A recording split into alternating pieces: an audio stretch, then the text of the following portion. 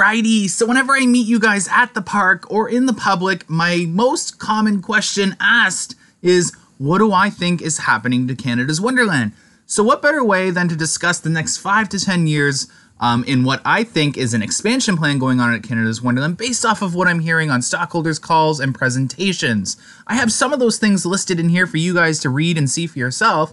And then I'm going to just discuss what I honestly think the future could hold at Canada's Wonderland. Some of this may be far fetched, but a lot of it, if you look at other parks, even smaller parks like CGA, isn't as far fetched as it may seem at first. So, as we all know, Yukon Striker is coming to Canada's Wonderland in 2019 and it is coming with Frontier Canada.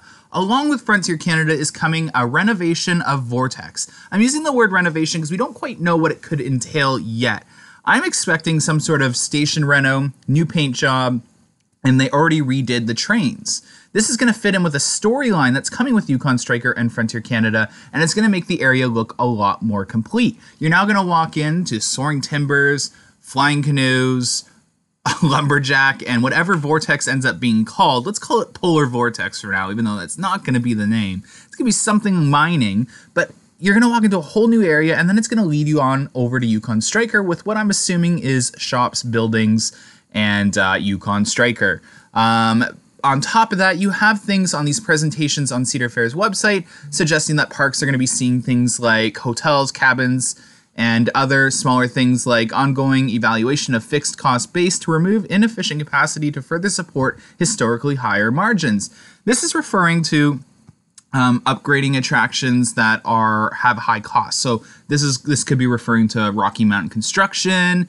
It could be referring to removing rides like Witch's Wheel. So it's all about what you guys think doesn't belong at Canada's Wonderland and has a low capacity or inefficient capacity, thus meaning it's not popular anymore and it's going to be removed for other attractions down the road. Now, that list could be a large one, as Canada's Wonderland has a very large supporting lineup. It doesn't have those massive coasters like other parts, we are getting there, but it has a very supporting lineup, so you could pick any coaster that isn't popular in the coaster enthusiast community. So that's up to you to predict what coasters could be removed. I'll save that for a later video. Now we get more into de- in more in depth, and you have this statement from um, the branded hotel, Hyatt Hotel, will continue Cedar Fair's significant investment in Canada's Wonderland, one of the portfolio's largest and most successful parks. We expect strong attendance growth there, driven by the introduction of the new record breaking roller coaster, Yukon Striker. And in addition, the immersive holiday event, Winterfest. So, based off of this paragraph right there, you're looking at interesting words like ongoing, ex- like investments, one of the most successful parks. So I'm definitely predicting a lot is coming. You look at a smaller park like CGA that promised rapid growth and massive growth, and they're now saying Canada's Wonderland is one of those parks. We haven't seen them list Canada's Wonderland as a, an expansion park or a park that's going to see a lot of investments until actually that one post on Cedar Fair's website.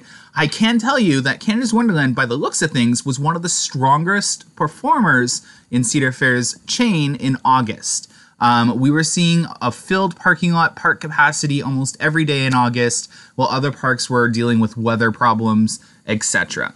So I'm definitely predicting that Canada's Wonderland is going to see a lot of investments, and it looks like we're seeing that on the wording that Cedar Fair is using on their presentations online. I'm definitely really excited for the stockholders call in September or October, as I'll be able to get a better idea of what's going on. Now, the color codes on here are very confusing, and you're probably going, What are you doing, Brendan? Well, let's get right to it. The orange is 2019, it is Frontier Canada and that's referring to the expansion of a whole new area. Now, this is part of their immersive new areas and lands inside their parks to make the parks look better. So, Frontier Canada is definitely part of that upgrade that Cedar Fair talks about constantly on their presentations for stockholders. So, orange is Yukon Striker and Frontier Canada. That is the upgrade to the immersive new areas. Um, the blue, this is a little out there, but I honestly really do see this an out and back wing coaster along the highway stretching in around their service road. It would look really nice. It would essentially be free marketing at all times during operation along the highway.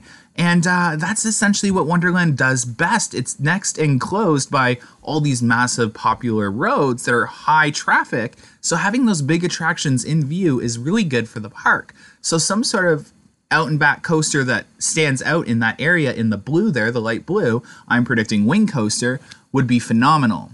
Now you're looking at all these brown areas. The brown areas could be suggesting a wood coaster renovation or a brand new GCI. So I circled Minebuster and Wild Beast, and that could be referring to an RMC on one of those two coasters. You all know my personal opinion. I think Minebuster is definitely the better pick for this, and that might complete the whole Frontier Canada area. We know Minebuster was supposed to be the star attraction way back in the day, but that didn't end up happening with Frontier Canada.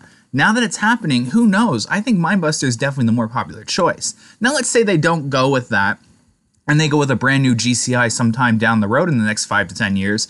I think Whitewater Canyons Forest is the perfect area to house it. We are hearing that Action Theater has no plans in the near future, so I'm predicting that's probably going to go at some point.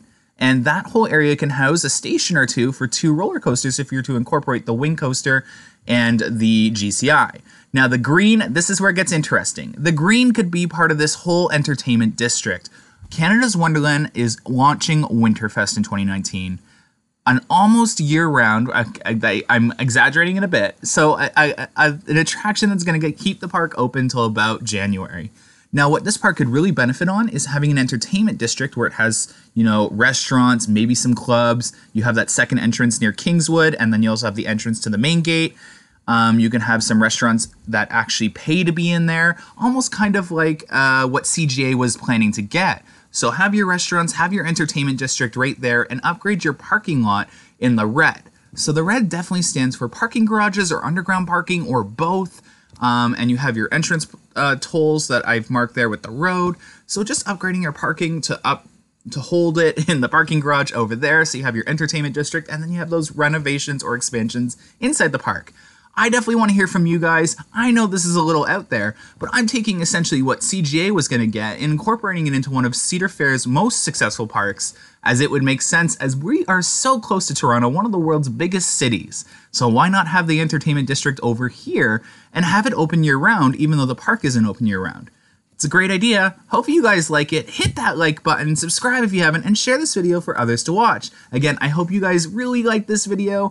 Uh, this is definitely what I'm thinking in the next 5 to 10 years. Comment down below what you think or what you think the next 5 to 10 years could hold for Canada's Wonderland. Thanks for watching, guys. Have a good one. Bye.